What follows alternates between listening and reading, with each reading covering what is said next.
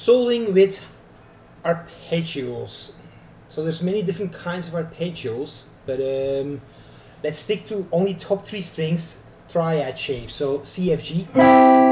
This is a C chord 5, 5, 3. Next C chord 9, 8, 8. Then uh, 12, 13, 12. All on the top three strings. So all of these are C chords. C, E, G, E, G, C, G, C, E. Then same three shapes, up 5 frets, gonna give you F chords. 2, 1, 1. A, C, F, chord. C, F, A, an F chord. F, A, C, an F chord. And then A, C, F again, up 12 frets from the previous shape. From the first shape I meant to say. Then move these three F chords, F shapes up 2 frets, I get G chords. B, D, G. D, G, B. Uh, 7, 8, 7 by the way. And then 12, 12, 10. Cool, so we get a 1, 4, 5 in the key of C, C, F, G. So let's say they on a solo now over a chord progression, for example, two bars of C, one bar F, one bar G. You could solo over that chord progression, arpeggiating triads.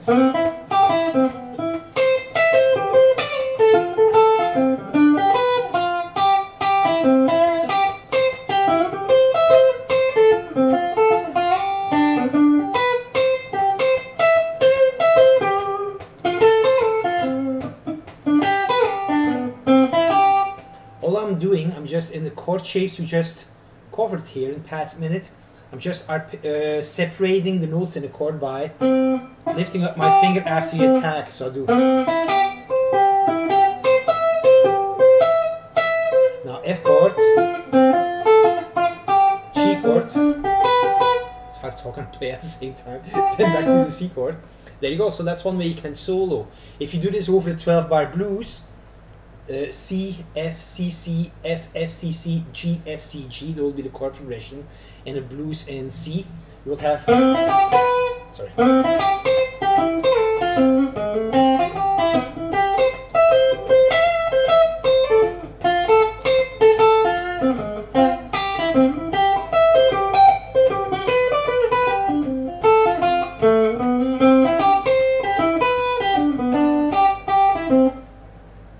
Good exercise to get your triads down, just soloing with them, arpeggiate the notes in the chord shapes over 12 bar blues.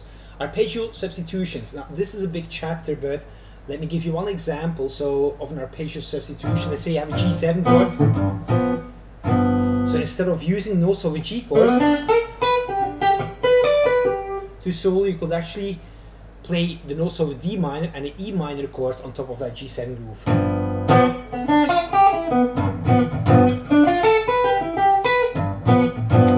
Me see if I have a backing track actually over a G7 chord here, over a one chord groove. Um, I need to get to my iTunes. Backing tracks, one chord grooves in G. I'm not sure if it's G7.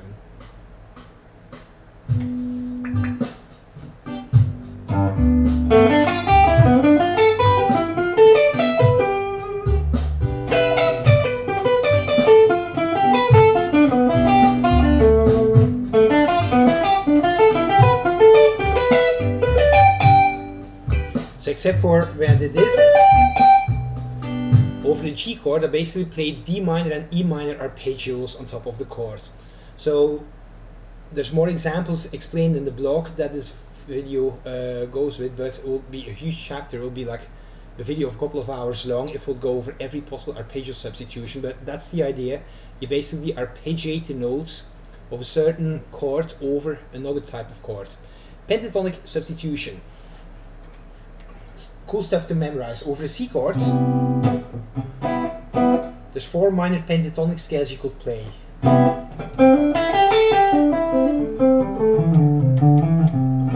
A minor pentatonic scale. You could also play B minor pentatonic scale.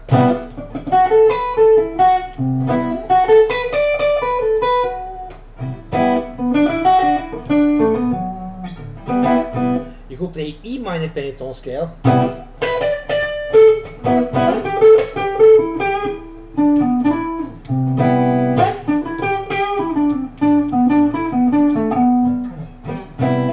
Play D minor pentatonic scale.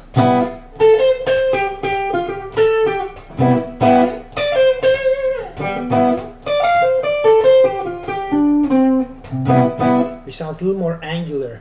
So that's how you would apply the stuff that I'm talking about in the blog here. So you basically like memorize what the pentatonic, what all the different pentatonic scales are they can use over any given chord, and then you um, that way by having that knowledge create all these different sounds over any given chord, not being confined anymore to only knowing one scale over one chord. Because most of the guitar players, when they hear key of C, they immediately only solo using A minor scale, but there's three more you can use, and all create really cool colors. Next soloing uh, technique tip: make your time, your play, your timing of your note, note placement, your melodies more elastic. So meaning, don't play everything perfectly on the beat, like stretch. Be totally free in where you place things, where you place your notes when you solo. So examples.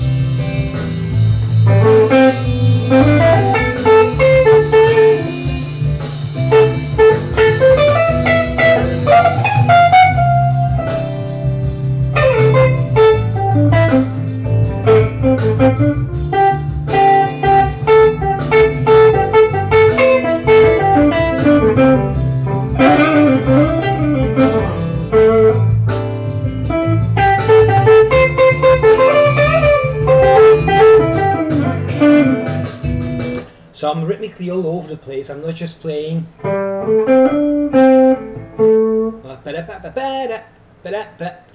I push the the the beat. I pull uh, my notes behind the beat. So something fun to experiment with.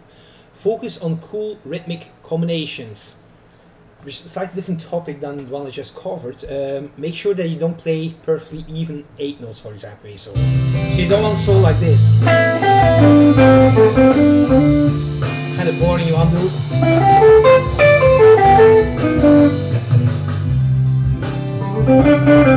to.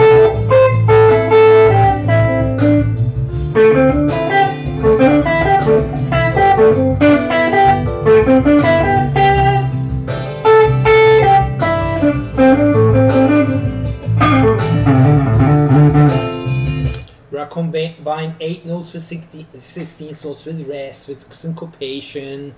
So yeah, be rhythmically more creative when you solo.